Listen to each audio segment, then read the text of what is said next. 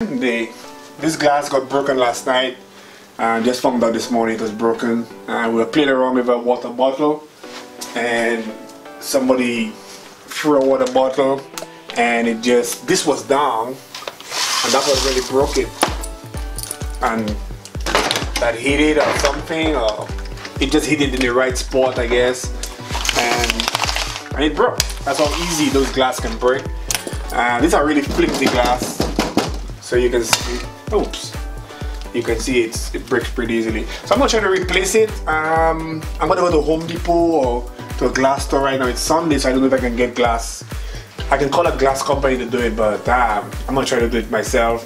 So I'm, I'm gonna take some measurements and I want to make sure that I get some precise measurements. The precise measurement I want to remove that stuff right here that's what that's what really just hold the glass in after they paste it in. So you're, when you're replacing the glass, you're gonna have to buy something to put that in. Normally, you can use the glue and just put some glue and just finish it nicely there. And that's what I think I might do if I cannot get that plastic molding. We have the molding taken out so we can, we can get a true measurement of what size glass that we're looking for. A ledge up there, so you want to make sure you have that ledge behind it. So that's what you're gonna make sure that you're on that ledge take 34 and an 8 is 34 and an eighth by 45 and an eighth. So that should give us what we want. So we're gonna run to Home Depot and when we come back we'll move from there. We'll remove all the pieces. You can see it's just glued in at the back here. So what I'm gonna get at, at Home Depot is is the glue. Um, some kind of white glue or whatever, or gray. I'm look for gray glue, and I'm gonna get see if I can get this, replace it with this. Um, the molding, if I can get the molding, and then we'll go from there. But I went to Home Depot. I got this. This this costs about twenty-six dollars for a sheet of three by four. So I need to cut it down 34 and an eighth by 45 and an eighth. The things you're gonna need, you're gonna need a nice straight edge, like like here. Uh, I did go ahead and pick up a knife right in the area. If you buy the plexiglass, they have the knife selling right there. Um, you can also use a nice sharp blade if you have, if that's what you have. You just need to really, really scotch, just scotch it. That's all you really need to do before you break it in place. Measure twice, cut one. That's what my father told me once. As you really want to use be safety first, I should have said that early on. You want to use your some some glove because this this will cut as much as um we're gonna mark it. First few. I want to go probably 10 times. Get a good deep groove in there.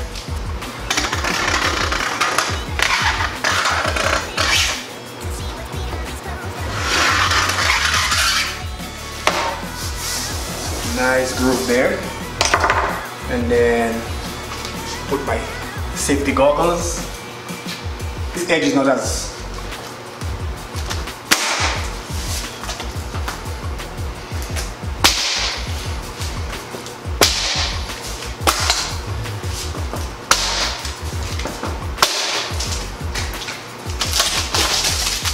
that's it guys I didn't get the molding that I wanted. They don't sell the molding in the store. Um, piece of cake. But I, I do have my silicone made especially for that. So in everything, it costs me like about 50 bucks to get every, everything I need to replace that. So now I'm gonna go inside and knock that out. I have my gloves on, my eye protection, and I'm gonna try to get all that out of there. And then we can start replacing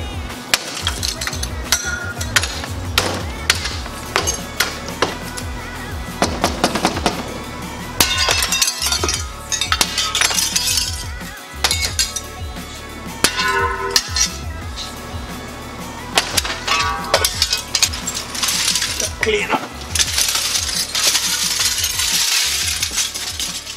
So the next thing we want to do is to clean up around the edges, make sure there's no pieces of glass or any obstruction so that the, the, the glass can fit nicely on there. So just take out any extra pieces that's left on there.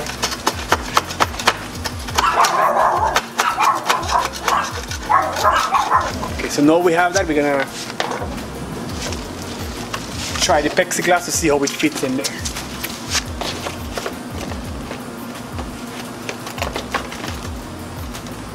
Put the bottom in. And guys, it looked like we have a good fit all around. Is really good. So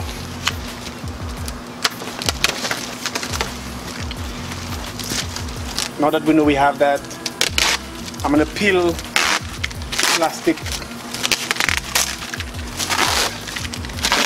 So we have our, our silicone or plastic sheet.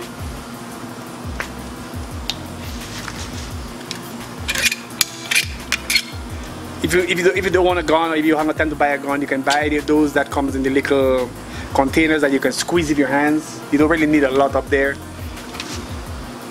And put just a small bit of, of caulk right on the ledge up there and that's what they're going to press against to hold it in there. So we have our area nice and clean. We don't want to put too much right, it's going to fall off, so just a little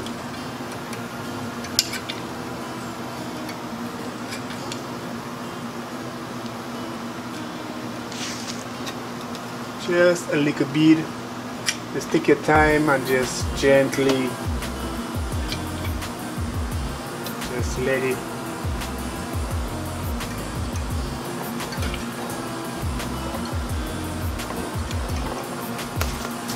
so we're gonna put the bottom in first.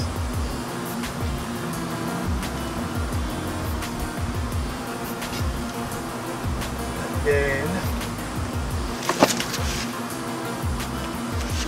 we're just gently gonna push everything in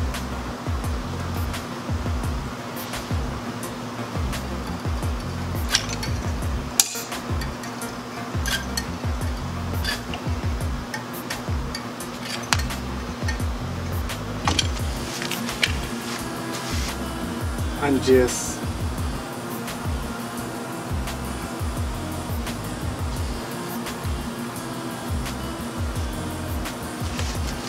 That should make it really watertight.